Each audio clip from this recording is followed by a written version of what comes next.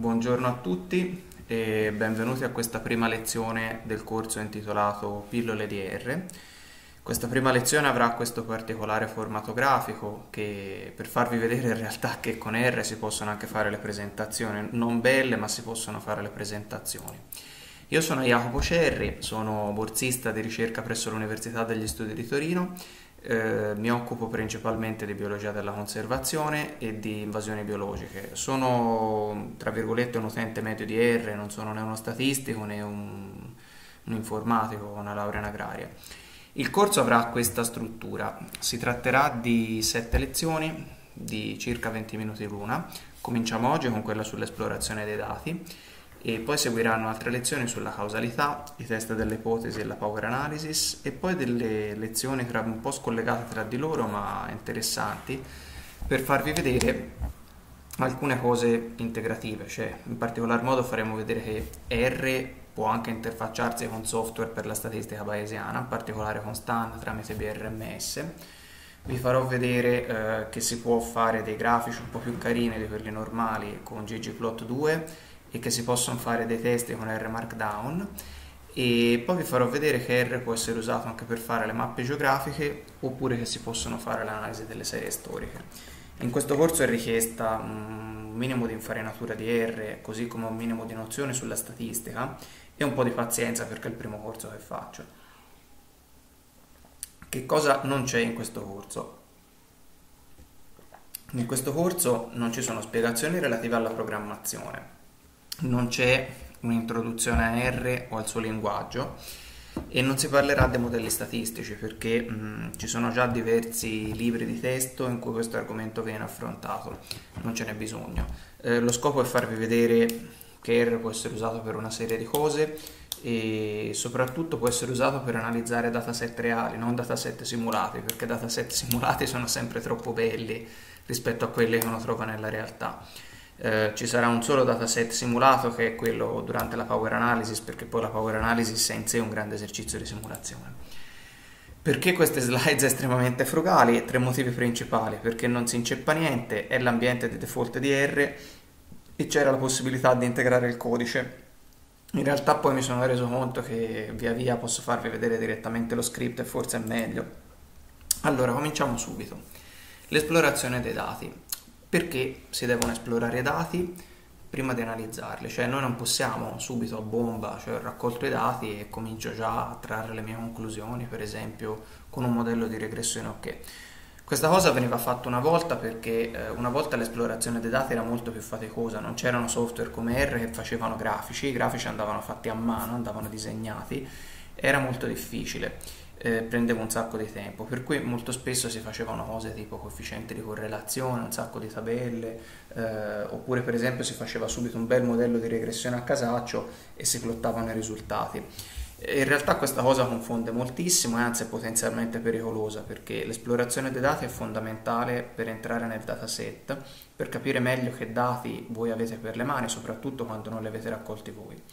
Serve anche a evitare degli errori grossolani perché mh, ci sono delle tecniche di modellistica oppure dei test che fanno precisi assunti sulla natura dei dati e sulla loro distribuzione e senza un'esplorazione dei dati si rischia di applicarli in casi non ottimali. Quindi serve anche a scegliere i metodi più appropriati. L'esplorazione dei dati deve diventare una parte centrale del vostro lavoro, a me più o meno prende circa un quarto del tempo, a volte anche molto di più. Un bel lavoro, io ve lo consiglio, questo è stato scritto da Zur, Zur è un biostatistico che ha scritto tantissimi ottimi libri di statistica, eh, è pubblicato su Methods in Ecology and Evolution e è un protocollo per l'esplorazione dei dati in ecologia. Come funziona R? Allora, R è questo, anzi, mh, mm, R è questo, questo è RStudio. RStudio è un'interfaccia grafica di R eh, in realtà R nella sua versione originale è questo, cioè è un terminale in cui io posso digitare le cose e poi lui me le fa. Però eh, capite che lavorare con questa cosa con cui io per esempio ho iniziato una decina d'anni fa è abbastanza difficile. Uh, RStudio è molto più interessante, vi consiglio di installarlo, tutti gli esempi sono fatti con questo software. Ha una parte in cui voi potete fare il cosiddetto script, quindi una parte in cui voi scrivete le cose e poi poi lo lanciate. e poi sotto c'è il, il terminale. Eh, c'è la possibilità di vedere anche quali oggetti voi avete importato nell'ambiente, perché poi tra virgolette li salva, e poi c'è una parte anche per produrre grafici, che sono abbastanza interessanti. Eh, poi consente di fare la presentazione, consente di fare markdown. Allora, mh, mm, quindi questo sarà il nostro strumento. Come si importano i dati in R? Allora, solitamente mh, mm, il 95% del lavoro che farete voi e che faccio anch'io utilizza dati in forma tabulare, cioè le unità osservazionali sono le righe le, gli attributi che voi avete misurato su ognuna delle unità osservazionali sono rappresentati dalle colonne, le variabili sono in colonna, tra virgolette. Eh, l'oggetto classico è il data frame in cui voi avete eh, le unità osservazionali in riga e le variabili per colonna. Solitamente si importa come CSV con il comando read CSV, soprattutto se usate Excel salvatelo in questo formato perché l'XLSX poi non sono stabili. In alcuni casi si può leggere come file tabulare se l'avete salvato in TXT con la funzione readTable e in altri casi ci sono dei dataset che sono mh, integrati in R, per cui quando voi caricate il pacchetto eh, potete poi a sua volta eh, importare se siete collegati a internet, non so se in realtà se siete collegati a internet oppure quando caricate il pacchetto, comunque potete con la funzione data leggere un dataset, questo è un dataset sul peso corporeo e il peso cardiaco dei gatti maschi. In questa lezione avremo tre casi di studio. Il primo e il più importante, che poi sarà utilizzato per gran parte del corso, è un dataset che parla dei coccodrilli marini, questo rettilone che vive dallo Sri Lanka all'Australia che vive nei fiumi, negli estuari e nelle acque salate, quindi in mare più o meno aperto, e che attacca l'uomo. Eh, questo dataset contiene 1600 e passa attacchi dal 2000 a oggi all'uomo, che con, gli attacchi sono classificati, quindi quando noi abbiamo il dataset, lo vedete da qui, ognuna di queste osservazioni, ognuna di queste righe in realtà è un evento, è un attacco, e sono classificati, cioè informazioni sia sull'età della vittima, se è uomo o donna, il paese dove è avvenuto l'attacco e l'esito, perché alcuni attacchi sono stati mortali, altri no, e poi la taglia in metri del coccodrillo, perché eh, il coccodrillo marino riesce ad arrivare a una lunghezza di oltre 7 metri, per cui capite bene che eh, non tutti i coccodrilli sono uguali.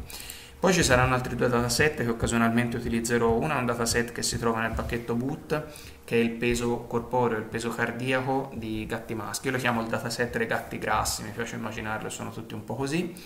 E l'altro è un dataset che contiene eh, il peso corporeo in grammi e la lunghezza della coda in millimetri di 300 e passa individui di gambero della Louisiana, misurati in Italia centrale, eh, Procambarus clarki. Quindi cominciamo subito a esplorare un po' i dati. Aprite R.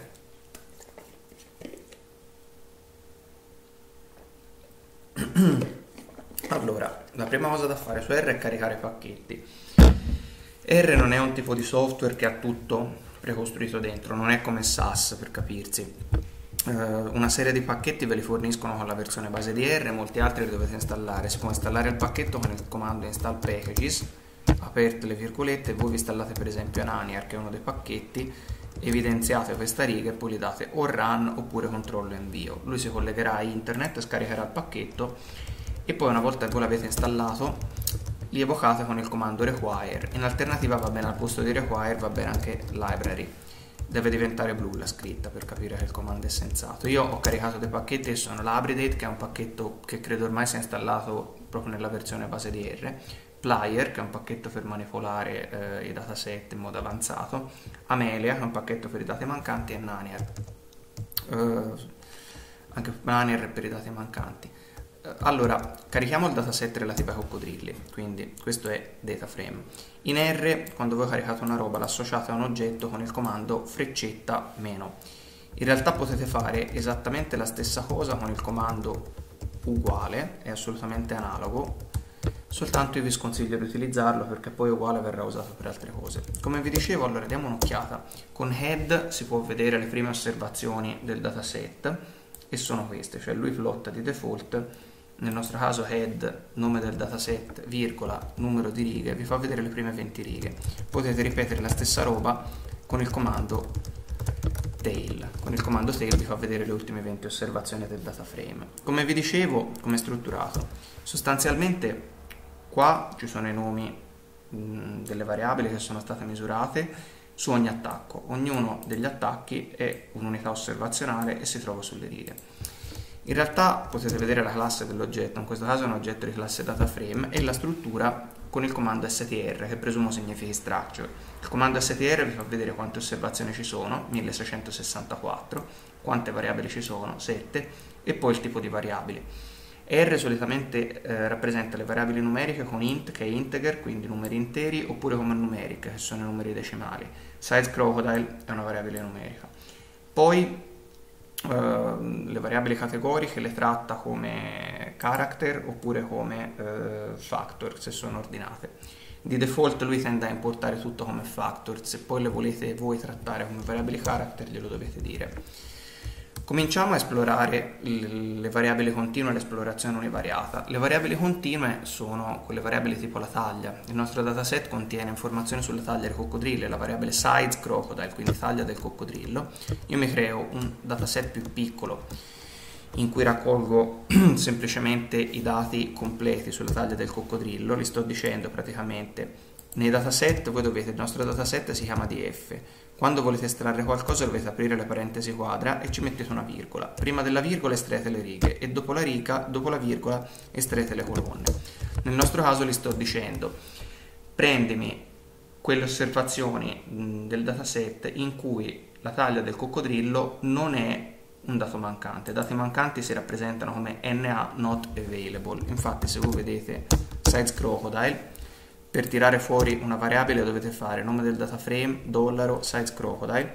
Vedete che è registrata. Mm, c'è un sacco di dati mancanti nel foglio Excel quando lasciate la cella vuota R la legge come NA che significa not available oppure NAN. Eh, in questo caso mm, ho creato un dataset con le variabili complete. Infatti se piglio size vedete che qua c'è le variabili complete. Posso plottarmi l'istogramma, eh, la distribuzione delle frequenze assolute, vedete un po' come sono distribuiti, questa è la lunghezza in metri del coccodrillo e questo è il numero di osservazioni. Si vede che la maggior parte delle osservazioni cadono fra i 2 e i 4 metri con un picco intorno a 3, verosimilmente la media la mediana dovrebbe cascare intorno a questo valore. Si può aumentare anche il numero di categorie per ottenere un'immagine più a grana fine della faccenda si vede che scorporandolo in modo più accurato ci sono dei picchi. Questo probabilmente dipende dal fatto che quando registrano la taglia del coccodrillo, siccome in molti casi non è possibile misurarla per bene, anche perché presumo poi il coccodrillo qualcuno l'ha visto oppure viene catturato, però non è che sta fermo e te puoi andare lì col metro a misurarlo con precisione, dici lo classifico come un coccodrillo di 2 metri invece di 2 metri e 10 oppure un coccodrillo di 3 metri invece che un coccodrillo di 3 metri e 5 centimetri vedete che per il fenomeno del rounding, come dell'arrotondamento, tendono ad esserci dei picchi. Eh, si può calcolare la media aritmetica oppure la mediana, quindi R ha delle funzioni che consentono di calcolare in modo automatico tutti gli indici di tendenza. La media aritmetica si calcola con min, vedete qua che la media aritmetica dei nostri coccodrilli è 3,19 m, mentre la mediana è 3 metri. La mediana vi ricordo che è il valore che taglia a metà la distribuzione.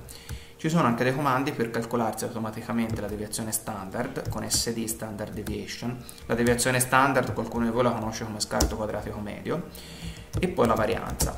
R ha queste funzioni preimpostate perché poi vedrete nella vostra attività di analisi dati voi queste statistiche riassuntive o di dispersione le calcolate continuamente per cui non è che tutte le volte vi potete mettere a scrivere la formula. Poi può calcolare anche il range, quindi vi fa vedere l'osservazione minima e l'osservazione massima. Nel nostro caso il coccodrillo più piccolo aveva una taglia di 0,8 e il coccodrillo più grande una taglia di 6,20 m. E poi c'è Summary che produce il cosiddetto 5 number summary, cioè vi dice tutte le informazioni chiave per caratterizzare la distribuzione. Vedete che il minimo è 0,80, è il massimo, vi calcola la mediana, la media e poi vi calcola i quartili eh, la cosa interessante è che eh, R consente anche di comparare i quantili di una certa distribuzione. I quantili sono eh, i punti eh, della distribuzione, per esempio, che identificano eh, una certa percentuale di osservazioni. Per esempio, il quantile 0,2 raccoglie tutte le osservazioni che hanno una, una taglia del coccodrillo compresa tra il minimo e il 20% più basso delle taglie, sono il 20% inferiore dello spettro della distribuzione del valore e R consente di comparare in modo automatico questi quantili rispetto ai quantili di una distribuzione di riferimento come la distribuzione normale. Per esempio per vedere se la nostra distribuzione può essere approssimata con una distribuzione di Gauss. Questo è il cosiddetto cuckoo plot. Vedete che sulle X ci sono i quantili di una distribuzione gaussiana di riferimento e sulla Y ci sono i quantili eh, della nostra distribuzione campionaria eh, idealmente quanto più i due sono associati, quindi quanto più questi punti stanno su una linea, quanto più fedelmente eh, le nostre misurazioni possono essere approssimate da una distribuzione normale. Lo vedremo dopo. In questo caso si vede che un po' per via dell'arrotondamento l'approssimazione non è tanto perfetta. Se invece ci guardiamo il peso dei gatti, questi gatti maschi hanno BVT che è body weight, il peso del corpo in chili, HVT che è heart weight, il peso cardiaco in grammi, si vede che per esempio una cosa misurata in modo più raffinato come il peso cardiaco eh, in questo caso è approssimato molto meglio da una distribuzione gaussiana. Però l'esplorazione univariata può eh, essere fatta anche con le variabili discrete. Per esempio nel nostro dataset eh, ci sono gli esiti oppure c'è il paese dell'attacco per cui posso produrmi una tabella e visualizzare come sono distribuite i nostri attacchi in termini di conteggio tra i vari paesi.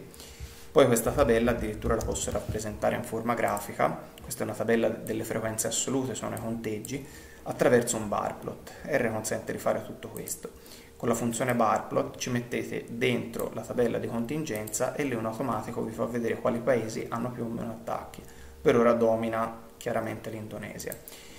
Allo stesso modo è possibile produrre anche una tabella delle frequenze marginali, per esempio con il comando prop table siete in grado di produrre una tabella che vi fa vedere eh, non le frequenze marginali, scusate, le frequenze relative. Poi a sua volta le frequenze relative le potete eh, convertire in percentuali, per cui potete vedere che l'Australia ha il 5,35% degli attacchi, l'Indonesia ne ha il 50% e poi a sua volta potete plottarla.